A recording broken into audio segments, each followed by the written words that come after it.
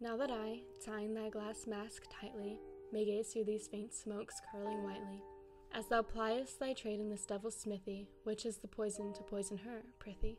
He is with her, and they know that I know where they are, what they do. They believe my tears flow, while they laugh, laugh at me, at me fled to the drear empty church to pray God in. For them, I am here. Grind away, moisten and mash up thy paste, pound at thy powder, I am not in haste. Better sit thus and observe thy strange things, than go where men wait me and dance at the king's. That in the mortar you call it a gum? Tree whence such gold oozings come.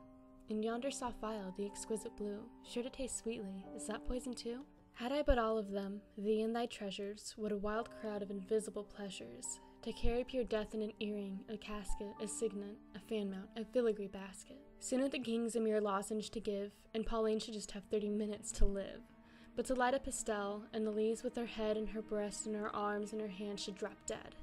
Quick, is it finished? The color's too grim. Why not soft like the phial's, enticing and dim?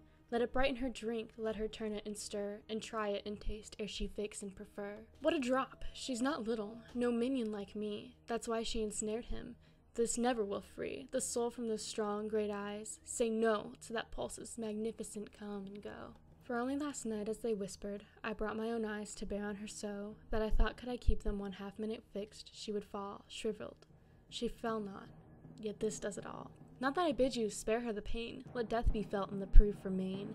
Brand, burn up, bite into its grace. He is sure to remember her dying face. Is it done? Take my mask off. Nay, be not morose. It kills her, and this prevents seeing it close.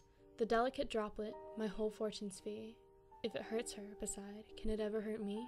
Now take all my jewels, gorge gold to your fill. You may kiss me, old man, on the mouth if you will. But brush this dust off me, lest horror it brings. Ere I know it, next moment I dance at the king's.